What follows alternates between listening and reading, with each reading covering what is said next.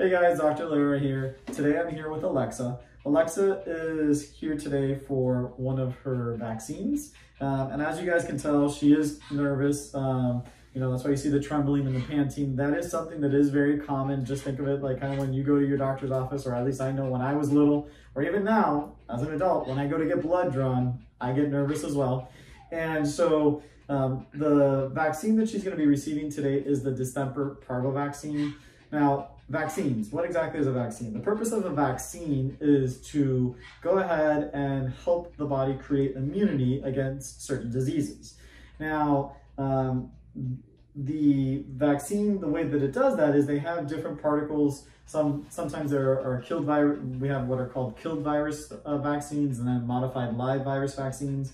And so what we do is we, they go ahead and they mix something in with the vaccine or with those particles uh, that cause purposely causes inflammation and then causes the body to come in to investigate what exactly is going on, take that information back, and then go ahead and retrain the rest of the immune system on how to go ahead and defend itself against whatever particular organism or um, viruses are in that particular vaccine. In this particular case today, the vaccine would be distemper, what we call distemper parvo. Um, and so the vaccine is actually called distemper virus. It has distemper virus in there. It has adenovirus in there. It has parainfluenza and it has parvovirus. It does not, the vaccine that we use does not have leptospirosis in it um, because it is one of the parts of the vaccine that causes the most allergic reactions. So we separate that out. Um, there are a lot of other uh, there are other veterinary hospitals that do feel comfortable giving that particular lepto and distemper combo vaccine together. We, I prefer not to, okay? Um, so parvovirus, what is parvovirus? Parvo is a virus that um, attacks cells that reproduce very quickly. Those are typically cells that line the intestines, also white blood cells, and sometimes the parvovirus can also attack um, the heart cells. Um, so sometimes what will happen is um, the patient's immune system will drop so low that they're kind of like uh, a person who is immunocompromised or immunosuppressed. Uh, some, it's kind of like a, an HIV patient sometimes. Um, the distemper, eh, that is something that can be treated. Uh, if they're treated aggressively, most dogs actually recover, um, but it is something that does require aggressive treatment, especially if the dogs are getting sick from it, okay? Distemper virus. Distemper virus is a neurologic disease. Um, and it, that means that it attacks the brain. Um, typically, it'll end up causing seizures. There is no treatment for that particular disease. It is something that, uh, if the dogs get it, the majority of the time, as of right now, it is fatal.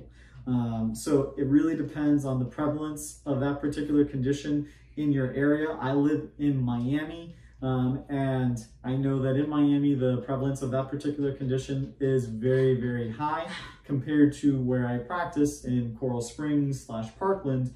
In this particular area, it is nowhere near as prevalent. And so, um, so that is one of the other things that is in this particular vaccine. There's parainfluenza, which is, um, again, like the influenza virus. Um, that is not something that's super common, um, and if it is, it's something that we don't typically end up treating patients for. Um, and the adenovirus is something that sometimes causes um, some GI disease, um, maybe could potentially cause some hepatitis. So those are some different things. This in particular is considered what we call a core vaccine, meaning a major vaccine for, you know, defending against the most common illnesses. Rabies is the other core vaccine. Those are the only two vaccines that I consider core. Anything outside of that is not considered a core vaccine for me particularly, okay? Um, the This is the last vaccine that Alexa will be getting for the distemper and parvovirus vaccine because she is still a baby or just kind of finishing up her baby series.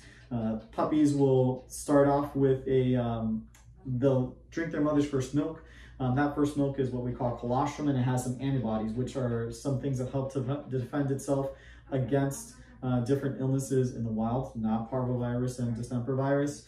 Um, and then over time, those, those antibodies will drop.